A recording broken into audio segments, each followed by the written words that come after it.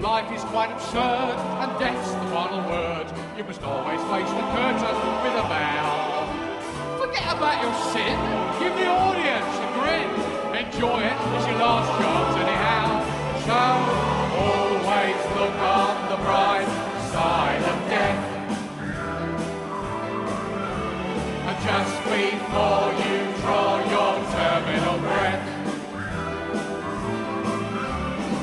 Life's a piece of shit when you look at it.